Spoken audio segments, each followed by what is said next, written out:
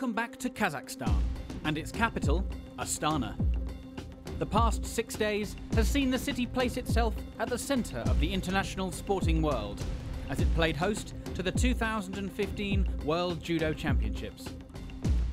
The International Judo Federation's flagship event cast Astana in the centre of an intense media spotlight as dreams came true and were shattered when world titles were won and lost inside the Alau Ice Palace. Now it's time for what many consider to be judo's most exciting spectacle, the World Team Championships, which will see the top judo nations battle it out for the top spot. The team event adds a whole new dynamic to the individual sport of judo as a nation selects a team of five before being pitted against another nation in a race to three wins. Let's use last year's thrilling final in Chelyabinsk as an example. Japan faced Russia on home turf. And in the opening contest, reigning world champion Ebinuma is thrown for Ippon by Khan Magomedov. The stadium erupts as Russia take a 1 0 lead. The home nation then go 2 0 up after Ayartsev defeats Ono, making it effectively match point in the next contest the Russians are now tantalizingly close to the gold. But Japan start a heroic comeback. Nagase throws Kabacharov for Ippon to make it 2-1. Baker then throws Magomedov for Yuko before keeping him in an agonising 20 second pin to level things up at two apiece. The match and the World Championship title is ultimately decided when Shichinohe pins Kambiev to complete the comeback as Japan are crowned World Team Champions. The special value of the team event and the hopes for its future are explained by International Judo Federation President Mr. Marius Vizer. The team event, I think, is uh, one of the most attractive events in the judo sport. Uh, we hope to uh, have the chance to uh, put the application for the team event in Tokyo, and everybody is waiting and supporting this initiative. One nation who would be on the hunt for a first world team title would be Mongolia, who have a strong team entered in both the women's and the men's event. Mongolia is still a sparsely populated nation, characterised by beautiful rugged wilderness in which many of its inhabitants live in a traditional nomadic way, unchanged for generations. The country's biggest annual sporting festival, Naadam, sees participants and spectators coming from all over the country to unite in friendly rivalry as they contest traditional sports, including horse riding, archery, and of course, traditional Mongolian wrestling. This unique style of wrestling is practiced by all young Mongolians, both male and female, giving them a fantastic grounding in grappling sports. And one which has proven integral to Mongolia's favourite international sport, judo. National team members, uh, most of them, almost like 80-90% of the judokas uh, came from uh, countryside, which is the still nomadic way background.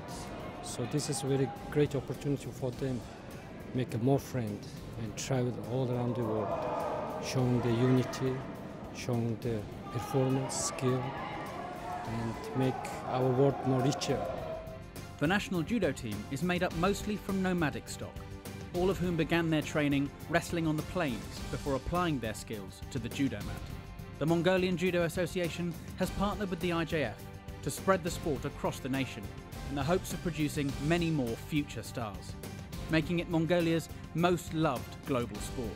This synergy has also helped to bring Mongolia and its culture to the wider world, as for three years, the capital Ulaanbaatar has hosted the annual Chinggis Khan Grand Prix, an important event on the IJF World Tour, which is broadcast worldwide, making it the only event staged in Mongolia to be viewed by an international audience.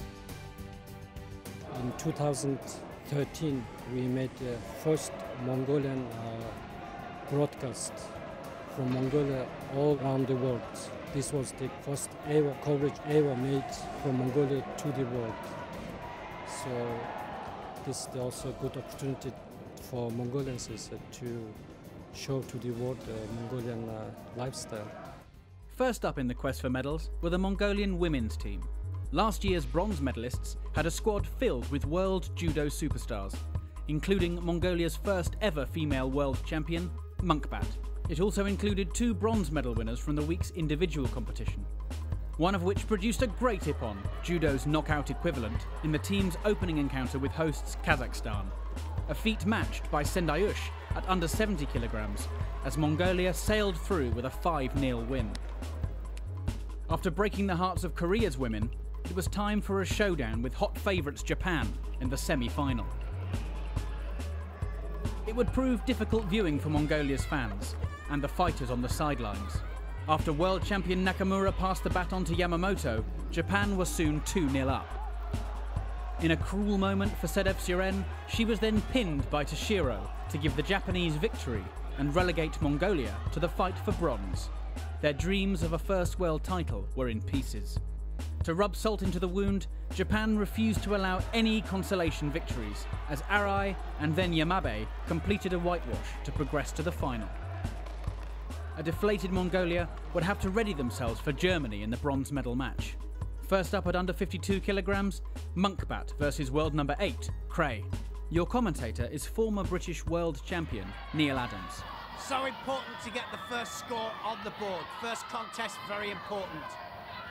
Left against right. Oh, Munkhbat's gone over! Oguruma! And you don't very often see that with Munkhbat. Right the way over the top there. Oguruma, what an ippon. And the Germans are one ahead. Beautiful Oguruma. Amazing technique from Cray.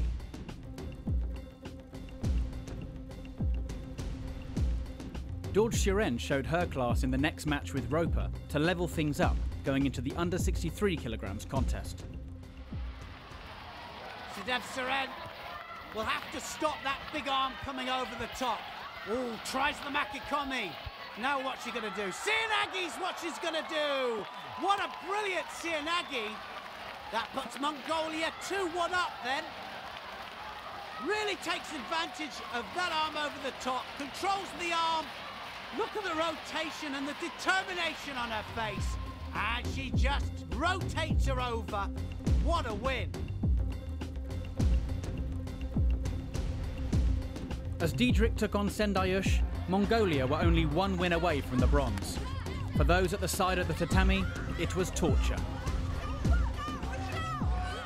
Well, can Diedrich equal this all up? Oh, Uchigari, oh, she's counted her for! What a time to do it! It's 2-2. And Malzahn, well, she knows it's down to her now. Look at this Tewaza. Oh, it was hand assisted all the way over. What an important point to win.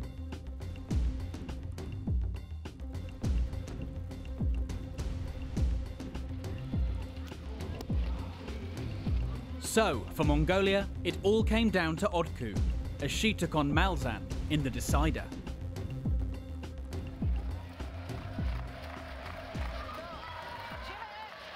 Shido there to Odku. She's got to come forwards. Malzahn. Can she do it for Germany? Oh, so Sotigari! Wazari given. Wazari given, and it's been changed to a Yuko. So now Malzahn got to come back. Oh! And a Yuko, she's evened it up. It's all evens. Now it's anybody's match.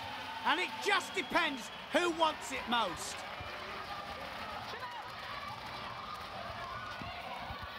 Oku coming forwards. Oh, Gary. Oh, she scores a Wazari, but her arm's out. Her arm's out straight.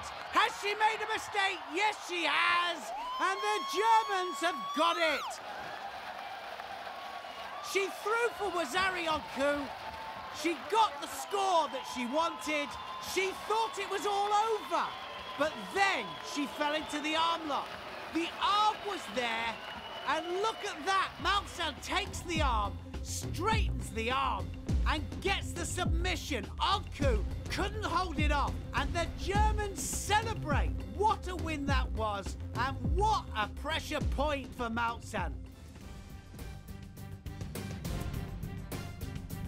As Mongolia were left dejected, Germany were joined on the podium by Russia, who also secured a bronze medal. The final would see Japan take on the day's surprise package, Poland. Nakamura would once again lead from the front with an opening win, before Yamamoto secured a nice armlock to force a submission from Podolak. After Toshiro had made sure the gold was in the bag, the final contest would see Yamabe looking to make every Japanese contest a 5 0 whitewash. Well, the Japanese have already won the title, but Yamabe comes out. Can she make it 5 0 in this particular contest? It's 5 0 every match that they've fought so far. And look at her setting her up now. She doesn't want to be there. Oh, what an Oguruma that was! And even the Polish have had to turn their back. The Japanese celebrate, and it's 5 0 all the way. That was classical Oguruma. It really was. And the Japanese reigned supreme. It's one thing winning the tournament, but winning 5 0 every match shows that the Japanese are back to their very best.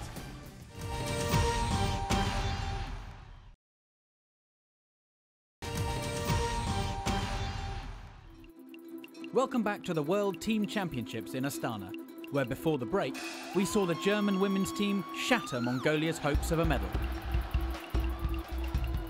Now it's the turn of the Mongolian men's team to see how they can fare.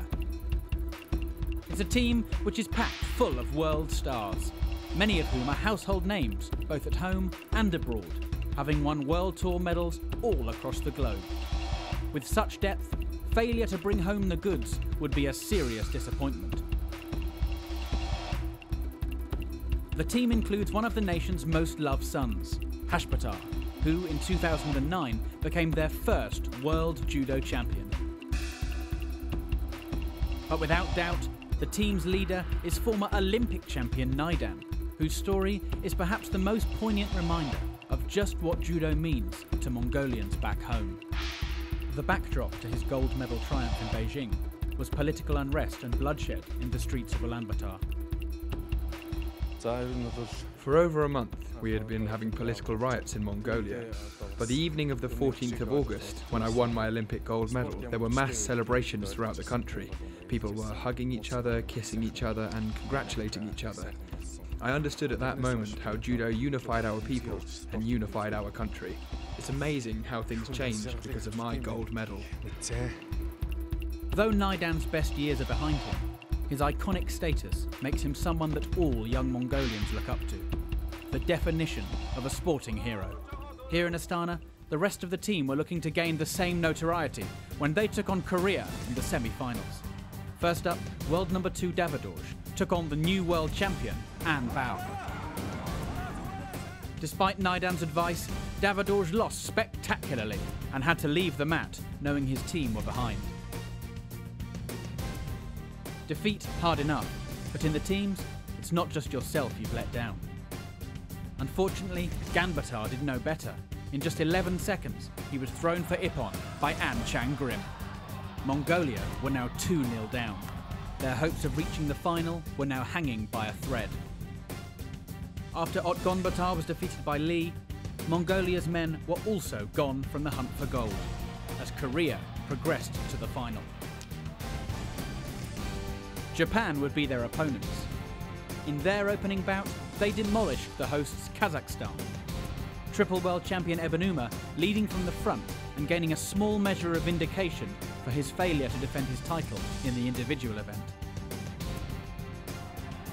After Nagase won on the ground at under 81 kilograms, Yoshida was too powerful as he overthrew Yesen. A short while later, he showed more control and eventually finished his opponent on the deck. Another Japanese hold down for Ippon. All that was left was for Ojitani to complete the whitewash by defeating Shinkia. Next up, Germany, who refused to be intimidated as they took a 1 0 lead. Seidel throwing the lackluster Takeichi. A magic moment for German judo fans. But their joy would be short lived, as Japan's next entry was a reigning world champion. in the form of Ono. And after he gave Wand a masterclass at under 73 kilograms, he handed over to his young teammate, Maruyama, who schooled Maresh at under 81 kilograms with a beautiful Uchimata, an inner thigh throw. A Yuko from Yoshida against Hildebrand then decided the contest in the dying seconds as German hearts were broken.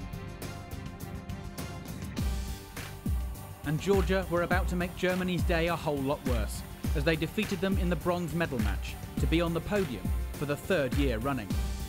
Their new young star Gviniashvili was the man who sealed the deal for them with an ippon against Hildebrand, who was once again the victim.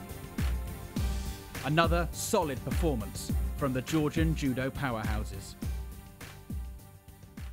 As Japan came out to face Korea in the final, judo fans were in for a roller coaster ride. First, Ebinuma sent a message as he defeated An, the man who had taken his world title this year. Former world champion Nakaya would then square off against this year's bronze medalist An Chang Grim at under 73 kilograms. Well, Song the coach stressed. Is Ishido down? He needs this to even it up, and he's the man on form in this competition, that's for sure. So now, what's going to happen? Nakaya. Oh, Nakaya's to go. Reverse Seoinage. Oh, he gets a Wazari. And, well, for me, I thought he landed on his back. And so did the Koreans, I think. That was a brilliant technique. Nakaya couldn't stop it. The second stab rotates him over. And that was a brilliant reverse Seoinage. It's been changed to Ippon. It's Ippon and the Koreans go crazy. And that was brilliant stuff from this man on four man. Reverse Seoinage drives Nakaya over and it's 1-1. Korea versus Japan. What a final this is! With the scores level at one apiece, the pressure was on. But world champion Nagase was ready for the task and defeated Lee after a professional performance to make it 2 1 to Japan. Yoshida then had the sizable task of beating Korea's newly crowned world champion at under 90 kilograms, Gwak. A task he was not equal to, as the Koreans' tactics were too much for him. Korea back in the game. And with things all square, the match would be decided in the very last contest, as Ojitani squared off against Kim Sung Min. With neither able to land the killer blow, Ojitani's efforts were awarded with a penalty to Kim for inactivity. Japan were less than 30 seconds away from being crowned world champions once again. Well, sometimes it's about winning the match, and it's tactical right to the end of this team competition. And Ojitani's got to hold off, 20 seconds to hold off. And Kim piling on the pressure. Oh, so close with that. Ojitani now trying to waste time. And the Koreans know it. And look at the stress on Inoue's face there. And Ojitani just blocks out. He can't afford to drop. And look at Kim pushing forwards. And it's all over. That was as close as it's going to get. So, so close in the end, but Ojitani just holds off. There are tears in the crowd, and there is jubilation there in the Japanese dugout. And the Koreans are absolutely mortified. It was so, so close, but sometimes it's about winning the match. And that's what the rules are all about. Playing the game, winning the match. And that's what Ojitani did. He won the match by the closest of margins, but in the end, it wins Japan the world team title. Japan, the champions for the second year in a row, but Korea came so, so close. For Mongolia, it was now or never as they came out to face off against home favourites Kazakhstan in the bronze medal matchup. First out, Hashpatar against Yesimbetov. What a team this Mongolian team is. And look at the support there. Mongolian crowd loving this. The Mongolian style of wrestling, you can see the grips they take around the waist. Oh, that was brilliant. He hooked round the outside of the leg there and drove his opponent backwards. And look how he lands. He lands on his back. That hugging movement with the arms, so typical of the Mongolian style of fighting. Pulls him in, drives him over. A great start from Hashpatar. 1-0 Mongolia. After Ganbatar emerged victorious from the under 73 kilogram contest, Mongolia were up 2 0. Meaning Otgon Batar had the chance to win it for them in the under 81 kilo bout.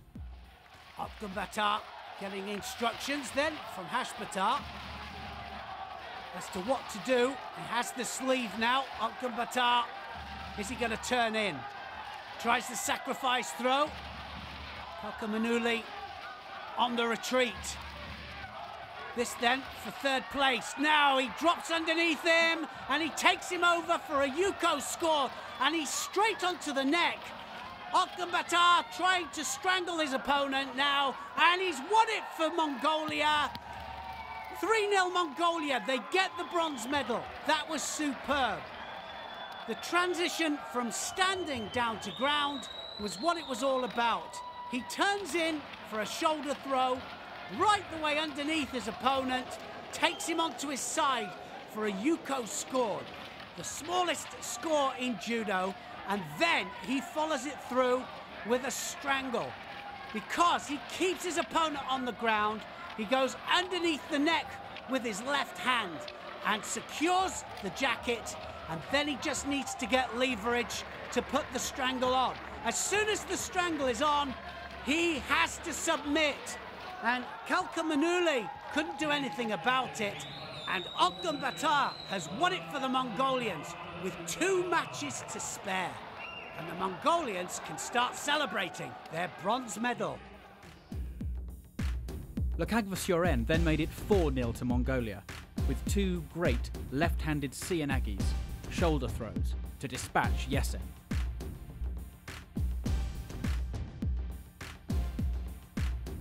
Former world champion Rakov then defeated Mongolia's talisman Naidan, who knew the result was already in the bag.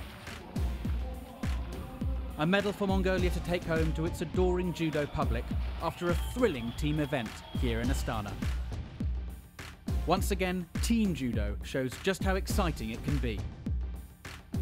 Will these teams one day also be celebrating Olympic medals? Only time will tell. So that's it for now. But join us again as we follow French phenomenon Teddy Riner on his quest for a record breaking eighth world title.